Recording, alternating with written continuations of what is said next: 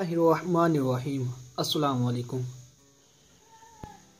Today we will read about the tibia and fibula bone. Tibia and fibula bone present in hind limb of skeleton. After femur bone, the next bone is tibia. The tibia is long bone and tibia having two extremities proximal extremity and distal extremity. Now we will discuss the features present on proximal extremities. On proximal extremity, on the cranial side, a tuberosity present which is called tibial tuberosity. Tibial tuberosity. When we move from tibial tuberosity toward the distal side, the crust present which is called tibial crest tibial crest tibial crest present on the distal side of the tibial tuberosity there are two saddle shape condyle present on the proximal extremity of the tibia bone which articulate with the distal end of the femur bone and in between these two condyle eminence present which is called intercondyloid eminence. There is a fossa present between these two condyles are called intercondyloid fossa which present in between these two condyles. And these two condyles are separated by a notch which is called popliteal notch. Distal extremity having two cochlea which articulate with the trochlea of tarsal bones.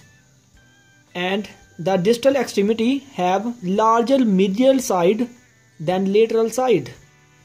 The tibia having greater proximal surface as compared to distal surface. The tibia proximally articulate with the distal end of femur bone and laterally articulate with the fibula bone and tibia distally articulate with the tarsal bones. Now we will discuss about the fibula bone.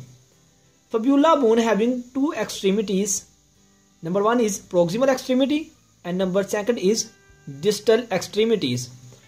On proximal extremity head is present which articulate with the lateral condyle of tibia bone and distal extremity is free and is called lateral malleolus.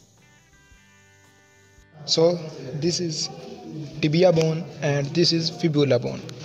The tibia bone has two extremities. This is proximal extremity and this is distal extremity.